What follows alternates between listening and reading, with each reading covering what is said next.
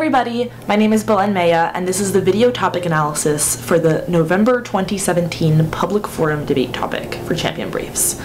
So, the topic this month is Resolved the United States should require universal background checks for all gun sales and transfers of ownership. Right off the bat, you know this is going to be an interesting debate topic. So, just to get a lay of the land, the way it works in the status quo is that federally licensed gun dealers already have to do a, a, a, background check for people that are attempting to buy guns. So people go to the store, they fill out an application with basic information um, about their identity, and then these gun vendors um, cross check that information with the National Instant Criminal Background Check System.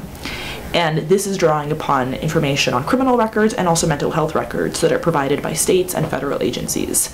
So the reason why this is even being debated is because there are exceptions to the requirement for background checks, and that includes things like gun shows, online sales, and transfers between people. Um, so in this debate topic, we're considering expanding the requirement for background checks, figuring out what the effectiveness of this would be, and then also what are the political ramifications. So all things that you we need to consider as we go into this topic. That said, I do want to start off on some big picture warnings. The first being that, as you might imagine, there's tremendous political biases and just preconceived notions. You might have a judge that going into the round already feels very strongly one way or the other. So there are ways to deal with this. You don't want to leave the decision up to the flip of the coin or just if your judge happens to get um, like your argument for their own reasons, right?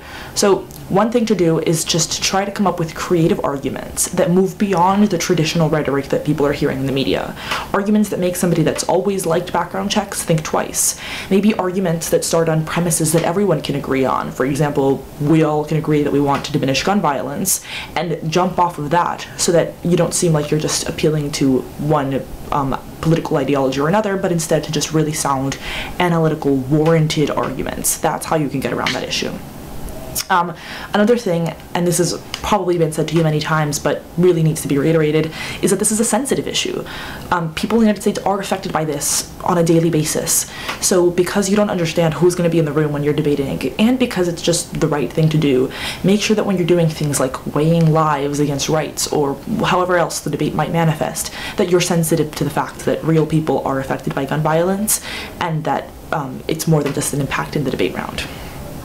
Um, and then the next consideration before we dig into things is just the type of evidence that you're going to be dealing with. So this is a type of topic that is going to have up to the minute evidence because there because politics policies about about um, addressing gun violence are being debated all the time in Congress and in other legislative bodies. Um, you want to draw on a variety of sources, so you definitely want journal articles that have empirical research about how universal background checks have or have not worked in different states. Maybe comparative analyses of how this has played out in different countries and addressed their problems related to gun violence. Um, you also want to get into more legal type research, so look at Supreme Court decisions, um, look at legal briefs, um, and finally, definitely look in the news, look in the media, look at how universal background checks are received by the American public. What are the arguments that policymakers make when they have proposed this in the past? And why hasn't it worked when it's been proposed in the past? So, really, really broad landscape of the type of evidence that you want to use, and that's what makes this topic so interesting. Um, another thing that makes this topic interesting, and I've already hinted at it, at it, is that it's not going to be a traditional which side impacts the most lives, or not necessarily. Um, this topic, because it has so many different types of arguments, might be a very interesting argument about how we must think about the expansion of state power, or how we justify rights versus the potential more sort of like utilitarian arguments. So, all very, very, very interesting, and it should make for very good debates. So, digging into it more specifically, let's talk about the pro side. So, for pro teams, for the most part, violence and deaths related to gun violence are going to be the most important impact. And that's because pro team offers a sort of solvency. So, solvency is just a debate word that means, hey, I have a potential solution. Um, and the way that pro teams might want to weigh this when it comes down to the end of the round is us suggesting that they have risk of solvency. And what that means is that even though the con team has probably done a great job at mitigating my arguments or defending against my arguments, there is an off chance that universal background checks will work. Maybe they're not going to reduce 100% of gun violence deaths, but they'll reduce something. Um, and maybe they won't necessarily work 100% of the time, but they might work sometimes. So because you have that risk of solvency, it's reason enough to vote for you because you're giving the judge something while the con team is giving them nothing. Um, many con teams might come up with interesting alternatives, but they have the burden to show that those alternatives are likely and that they're more effective. Which brings me to another point on the pro. Don't just say risk of solvency, universal background checks might be good. Come up with reasons why universal background checks are uniquely the best thing, um, and just more warranted, more deep analysis as to why they're effective. So, talking about this a little bit, um, let's talk about those loopholes, the gun shows, the online sales, things like that. So evidence that gets floated around a lot is that only 60% of guns are sold at licensed dealers, but there's also a lot out there on the internet that says that this is a really outdated claim that comes from evidence from 1994, and that most recent figures put it around only 20%. Um, that said, most experts still agree about closing this loophole, and then they agree that this would lead to some sort of reduction, or at least create more obstacles to, to acquiring a gun, which then increases the time that it would take for a criminal to carry out something, which makes it less likely to happen. Um, more interesting evidence from Anestis of the Journal of Preventive Medicine talks about how the absence of universal background checks and mandatory waiting period laws are associated with a steeply rising trajectory of statewide suicide rates. So another thing to think about on this topic is don't just think about mass shootings and don't just think about suicide. Try to think about how all of these really unfortunate, really grim things come together to create the whole picture of um, gun violence and of whether universal background checks are a good idea. Um, when you're dealing with the evidence, it's important, and con teams should definitely be on the lookout for this, that there isn't amazing evidence because it's hard to do controlled studies with this, because these laws have been in place for decades, and because they just, it, it's hard to sort of isolate the variables. People are just sort of looking at how it plays out in a real world scenario. So in this, in the evidence that I just read you, it relied on universal background checks and mandatory waiting periods. So maybe when you isolate universal background checks, it becomes less effective. Um, there's other studies that talk about how the um, how universal background checks paired with requiring a permit, so requiring criminals to go to law enforcement and require and get a permit before then, and which then entails a universal background check before going to buy a gun, has also been very effective. But that's not what the resolution is asking, right? So con teams be on the lookout for the evidence that pro is citing, and pro teams try to find evidence that is as specific to universal background checks and only universal background checks as possible. Um, speaking about evidence, there's going to be a lot of things dealing with both comparative studies of different countries and then also just within the United States, because some states do require universal background checks and others don't. Um, a strategic thing for pro teams to look at is the fact that this discrepancy, how some states do and some states don't, make it less effective for everyone. So, for example, The Economist tells us that in Chicago, which has especially restrictive gun laws, more than half of the guns confiscated by the police come from out of state. So, this is an extra thing that pro team can bring up as to why a, a national universal background check, because the resolution does say United States would see benefits to everyone, even if we don't exactly see those benefits in the status quo. Um, Chicago has a high homicide rate, but this evidence seems to point to the fact that it's because of guns purchased out of state, which means they're not being purchased in Chicago, all things to consider. Um, now, the impact here is definitely lives, and teams should, I mean, lives are one of the easiest things to weigh. You could always go for the old debate phrase if you don't have a life, you don't have anything. Um, so that'll come before rights, that'll come before the economy, that'll come before all sorts of arguments. Um, you certainly are encouraged to deepen the analysis beyond just lives. For example, think about how communities are affected by gun violence. Think about how they might be bad for the economy, how they could be bad for people growing up, for, for childhoods, for etc., etc., etc. And that way you can be sure to be winning on the lives front and then be able to have really good comparative analysis on other sorts of metrics that you might want to use um, when, when it comes down to weighing the round. Um, another thing for pro teams to do is to sort of come up with arguments that preempt or at very least clash very well against arguments the con is probably going to use. So con teams, many of them are going to be running arguments about political trade-offs, and I'll get to that in a bit. But pro teams can also have an argument here. So Jacob Burda's topic analysis talks extensively about this, um, where he writes that winning landmark legislative victories can give movements legitimacy. So rather than take the fire away from the anti-gun or the gun restriction movement, using something, uh, um, achieving something like universal background checks could actually give it extra momentum and um, lead to sort of the conversation shifting so that things, so that just the issue of gun violence is being dealt with better, in a, in a better way. Um, and then another interesting pro point is just that support for universal background checks is high. Whether you're looking at Pew, 538, or various other polls, um, most Americans do support universal background checks. So even if it weren't for its efficacy, but because it's just sort of the way to be most responsive to the electorate and what people want, universal background checks on the whole look like a good idea when you look at it from that perspective. Now let's turn to the con. So, considerations for the con side. Um, the first thing that I already talked about when I was talking about pro is just this issue of evidence, the type of evidence that pro teams are going to be using. Make sure they're not conflating universal background checks with other things, and just really, really press them on it because you don't want to lose um, a round to a study. That's always the worst. Um, the other thing about con that I already also sort of touched on is just the fact that because this is so politically divisive, you want an argument that doesn't, and, and because most Americans, according to the evidence, support universal background checks, you want an argument that's a little more um, nuanced and more complex and more creative. So start on the premise that reducing gun violence is good, probably. You should do that. Um, be careful when you're weighing against lives. So think to really, really draw a case that universal background checks aren't effective and that they come with a whole array of other problems.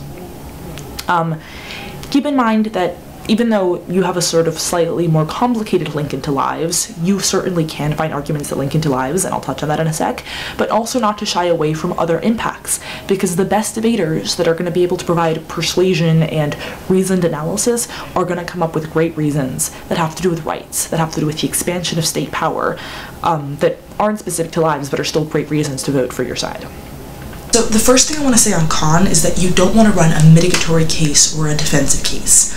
Remember that your constructive, your first speech is for offense, and then your rebuttal is for defense, and offense if you want to turn, throw in some turns there. Um, this seems obvious, but I really fear that con teams are going to resort to a lot of mitigatory stuff because that just happens to be a lot of the literature on this topic for the con side. Um, and even though that may be true, that's not a reason, like this mitigatory defensive stuff is true and it is important. It isn't a reason in and of itself for the judge to vote for you. When the round ends, you don't want the judge to just say, hey, pro team didn't win. You want them to say, con team actually won. Con team had offensive reasons why universal background checks aren't just not great, they're downright bad.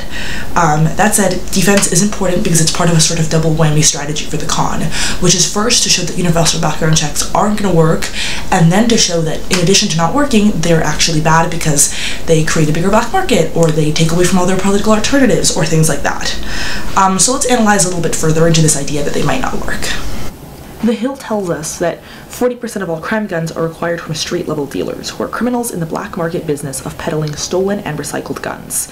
And furthermore, um, the other 40%, another 40% are by personal transfers between family members, between acquaintances, etc.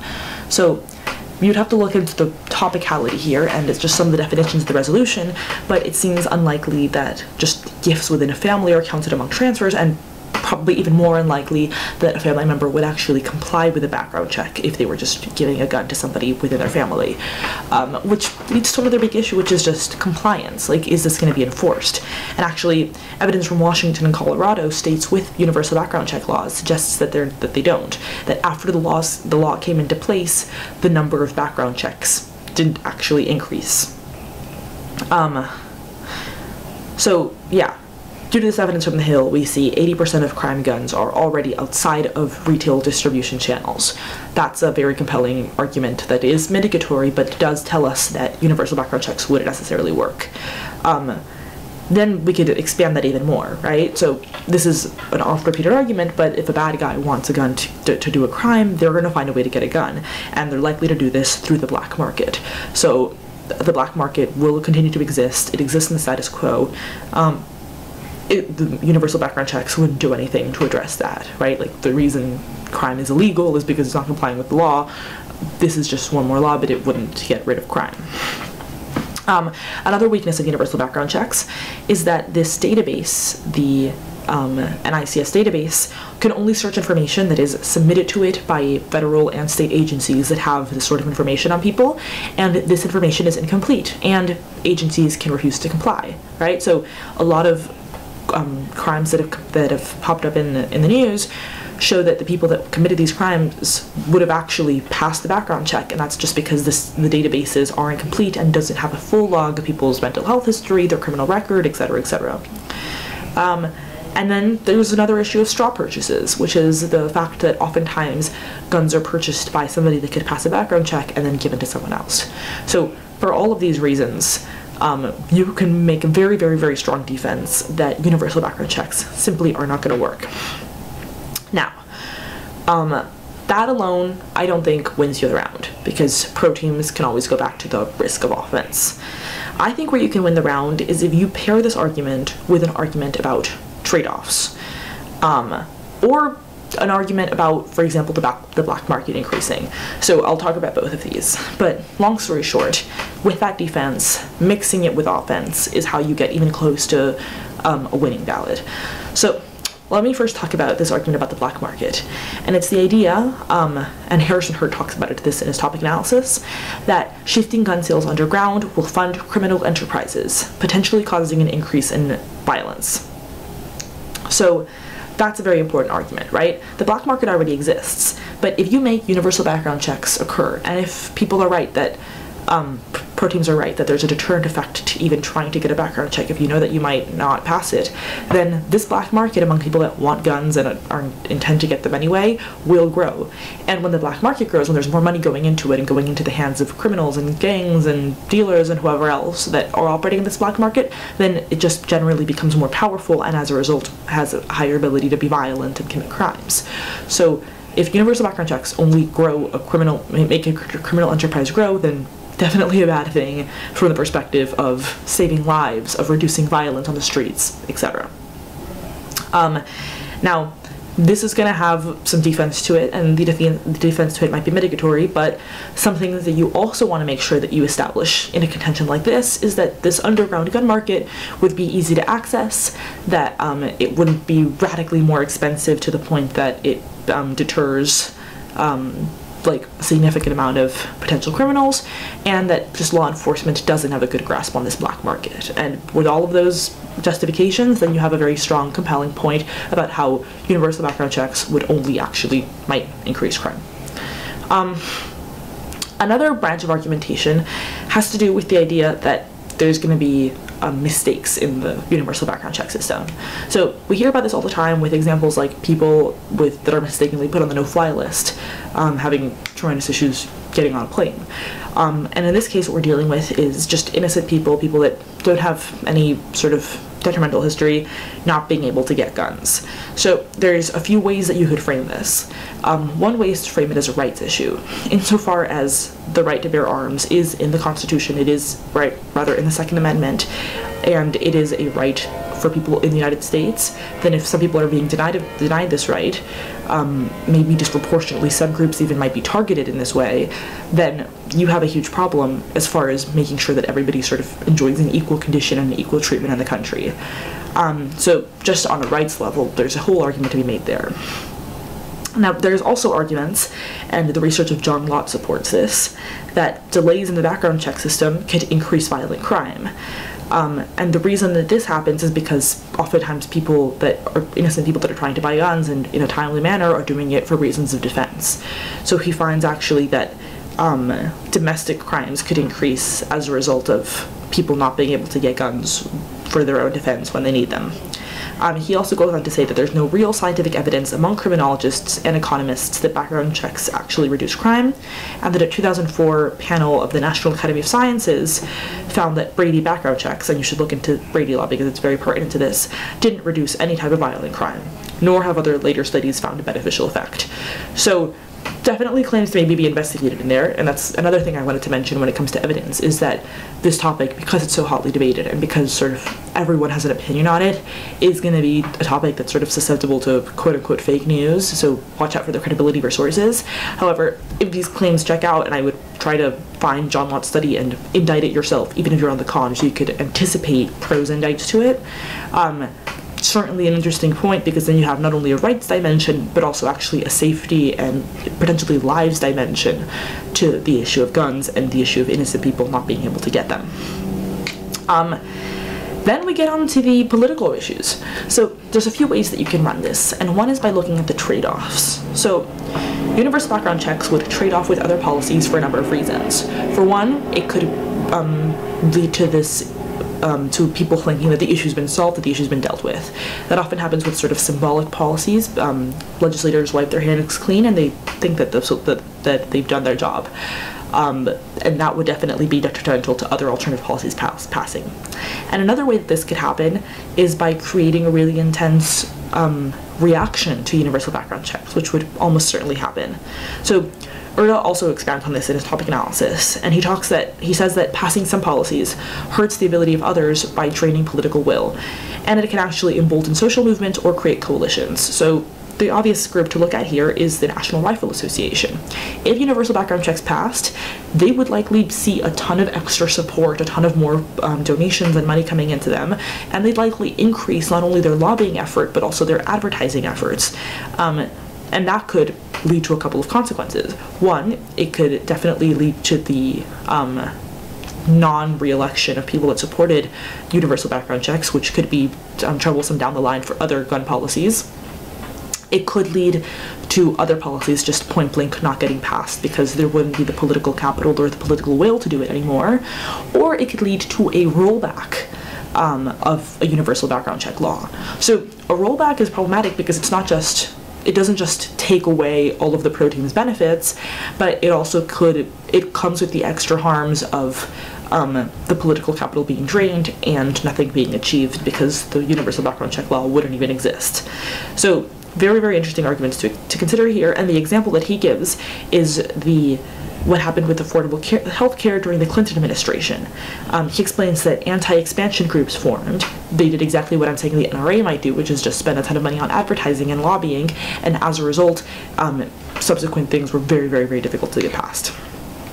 Um, rollback also comes in the form of arguments about constitutionality. So here's the place to look into the legal briefs and look into the Supreme Court cases. But if you can make a claim that it's not um, it violates people's rights or it violates um, people's rights according to the amendments or it just does create troublesome issues as far as privacy is concerned then there's a, the question of, well, that's bad in and of itself, and B, the question of, would this lead to get rolled back? And that relates to all the issues that we already talked about. So, looking a little bit more specifically into this issue of privacy, according to The Hill, um, there is some agreement among lawmakers that to achieve any degree of success, universal background check systems would require universal gun registration.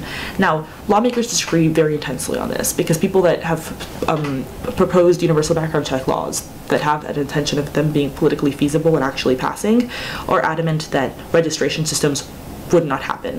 However, people that are fearful of universal background checks think that they necessarily go in hand in hand with registration. Um, and if they didn't come with registration, then they really, really wouldn't work.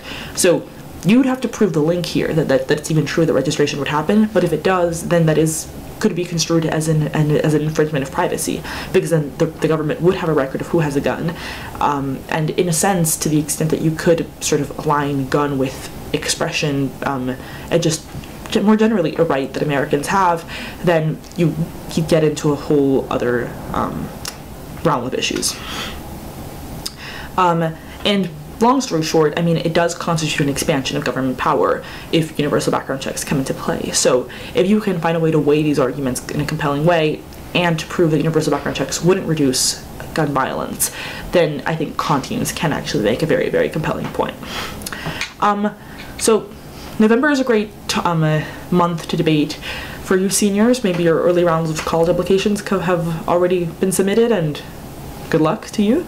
Um, November, I always used to go to Blue Key, which just wrapped up, the Glenbrooks tournament, which is a ton of fun and a very competitive and sort of high stakes, interesting field, and just a bunch of locals in South Florida. But wherever it is that you're debating, whoever you're debating against, I hope that this topic is a great opportunity to sort of challenge your weighing muscles um, to expose you to lots of different types of evidence and to just make you a more informed person about one of the most important political issues that are being debated all the time.